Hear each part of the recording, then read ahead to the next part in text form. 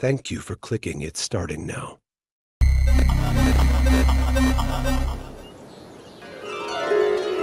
아토믹 하트가 대망의 세 번째 확장팩으로 곧 돌아옵니다. 새로운 흥미로운 장소뿐만 아니라 익숙한 장소도 여러분을 기다리고 있습니다. 3826 시설의 자랑이자 상징인 첼로메이 콤플렉스는 로봇 봉기 이후 몰라볼 정도로 변화했습니다. 이전에 평화롭게 걸을 수 있었던 곳에서 이제 거대한 로봇이 책임지고 있는데 이번에는 심각한 위협이 되고 있습니다. D-3가 또 어떤 곳을 방문할 것 같나요? 여러분의 생각을 공유하고 계속 지켜봐 주세요.